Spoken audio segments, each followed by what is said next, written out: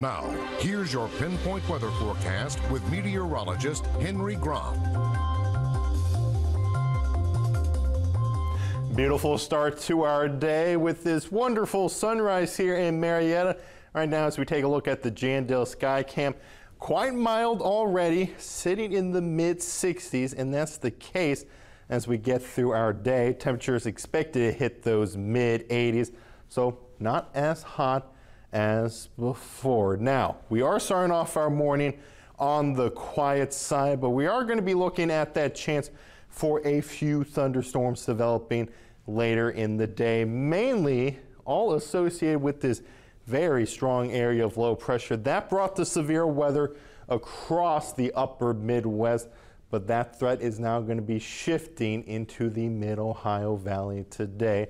So we do have that yellow alert day today with the main timing this afternoon and into this evening.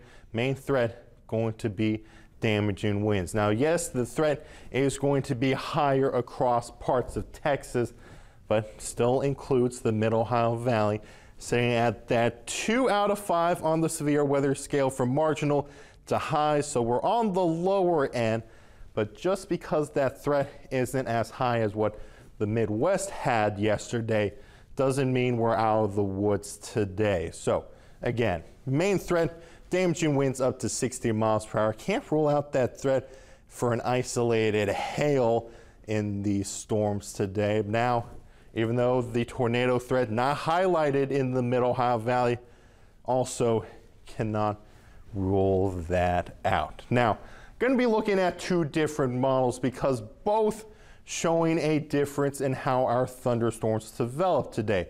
Now, overall looking at partly cloudy skies today as we climb into the mid 80s, but as you can see, really not a lot of activity. Thunderstorms start to move in around midnight tonight and continue moving into our Thursday. But if we switch over to the H triple R, then it tells a bit of a different story. Some showers later this morning into the early afternoon, and then we see some of those isolated thunderstorms developing that could produce that threat for damaging winds. So going to be something to watch out today. If you're going to be spending any time outside, well, make sure you're drinking plenty of water. That humidity is taking place of those upper 80s today, so we'll see the heat index up to around 87. Still mild tonight, down to around 65 as we look at thunderstorms still continuing into our Thursday.